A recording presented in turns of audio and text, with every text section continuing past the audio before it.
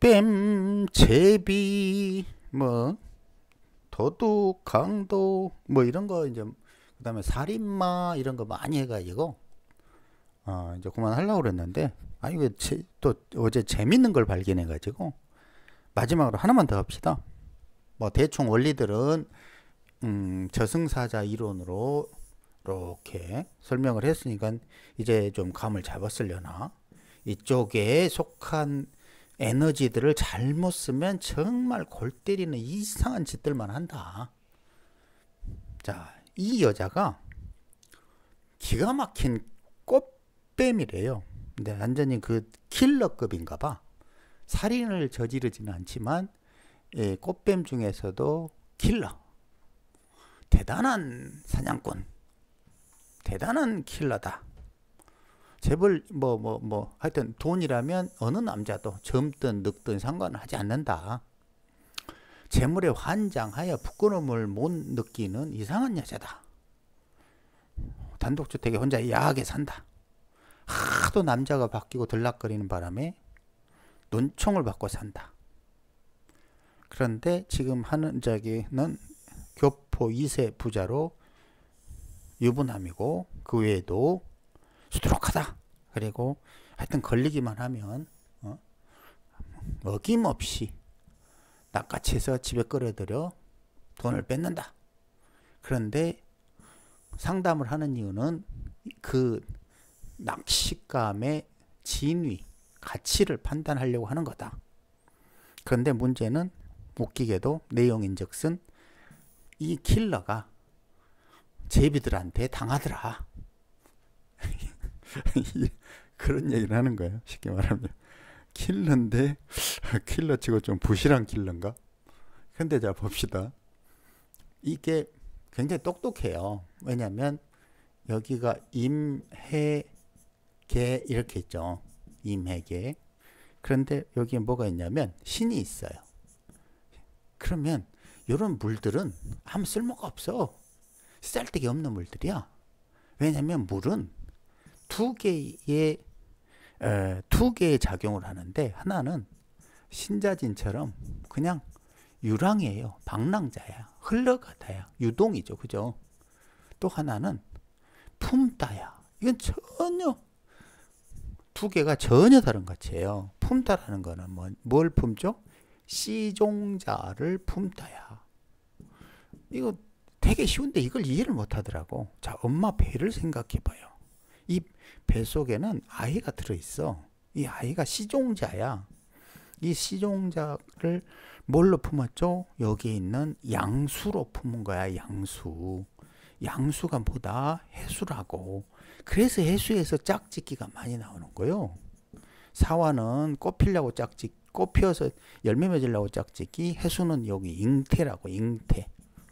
잉태 짝짓기. 진짜로 인목을 만들려고 짝짓기 하는 거라고 개념이 많이 틀리라고 그랬죠. 그죠? 그런데 이 신이 있으니까 신이 있으니까 요런 수기들이 미네랄 워터처럼 안정이 된다고. 즉 가치가 있다고. 물의 가치. 에비앙 뭐 이런 비싼 물처럼 그 요것들이 만약에 없었다 그러면 아니 세 개의 글자들이 여기 없었다 그러면 신금이 없었다 그러면 꽝이었지. 그런데 여기 하나 더 좋은 일을 해.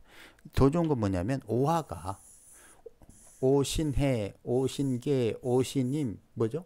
정신임 삼자 조합이요. 이렇게 되죠. 그죠?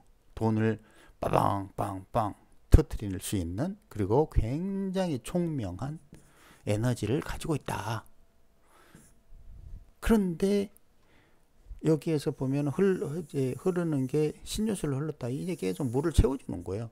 신유를 채우니까 오화가 굉장히 좋은 역할을 하죠. 해, 이것도 뭐 멀리 있으니까 해외 이런 개념이, 국가에 있으니까 해외 이런 개념이 되는 거고. 그런데 이게 이제 쭉쭉쭉쭉쭉 오는 이유는 이쪽에서 이상한 짓거리를 했던 이유는 다시 봅시다. 이쪽에서 이상한 짓을 했던 이유는 개수가 음? 아무리 정신님 이런 게 있더라도 임수의 공간에서 할 일이 없다. 뭔 말이죠? 시절을 잃었다. 그럼 어떻게 해야 되지? 시절을 잃었다? 떠나라. 어디로 떠나? 해외로 가라. 이런 말이 돼버리잖아요. 그죠? 그러니까 일본으로 가서 현지철을 하니 뭐 한국에서 현지철을 하니 뭐 이래 왔다리 갔다리 하는 거고 그러다가 이제 쫙쫙쫙쫙쫙 여기 오면 4월 4에서부터 이제 꽃피는 봄날을 맞이하죠. 달리 표현하면 자 이제 경쟁에서 이기기 시작해요. 맞죠? 여기는 경쟁에서 지니까 뭐 머리 엄청 써야 되는 그런 상황인데 다행히 여신금이 있으니까 총명했단 거예요. 그런데 이제 개사 일제 오면은 을묘까지 좋은 시절이야. 또 이 사화는 뭐죠? 남편 자리가 남편 자리가 그 좋은 작용을 한다. 좋은 작용. 왜냐면 이 쓸모없는 시절을 잃은 이 개수가 사화 처음으로 보고 어, 가치를 얻을 수 있, 자기의 존재 가치를 드러낼 수 있으니까. 하지만 뭐다 사회충을 한다. 고로 이것도 불안정하다. 그런데 시즌 을묘다. 그러면 이렇게 뭐 따라 하나 있다 그러는데 이 을묘가 좋은 역할을 하는 거죠. 그죠? 뭔가 을묘를 미끼로 사화로 묘사 이렇게 들어오게 만들어요. 내용을 보면 뭐뭐 뭐, 어? 자기 그 누구지?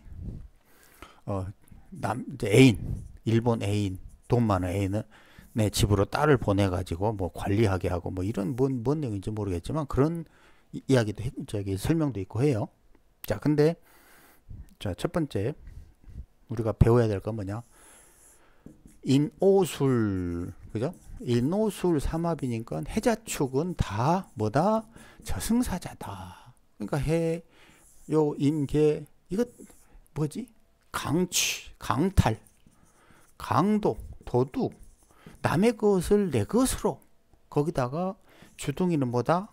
입만 열면 거짓말이다. 이런 에너지들. 그러니까 꽃뱀 하는 거야. 꽃뱀은 아무나 하나. 이게 우리 하라고 해도 못해. 할 수가 없다고. 일반인들은 할 수 있는 것들이 아니야. 용기가 없어서.